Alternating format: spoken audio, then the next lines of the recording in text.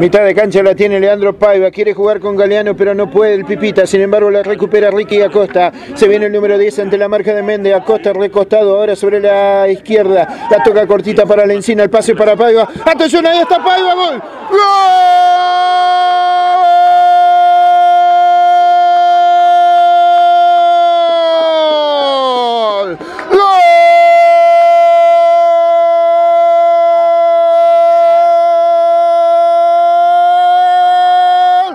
a los tres minutos y medio descuenta Leandro Paiva. Un pase profundo y preciso que le quedó al número 16 definió con justeza junto al palo. Nada pudo hacer Pretel descuenta Newells. A los tres y medio achica la brecha el elenco local. Ahora Newells pierde pero 2 a 1 Juanca. Sí, señor, porque Paiva entró, tocó la primera pelota, la mandó a guardar en una definición exquisita. A la derecha del arquero Pretel, nada pudo hacer por observar la caída. Ahora la brecha, como dijo Julián, es más corta, ahora se anima. neo wells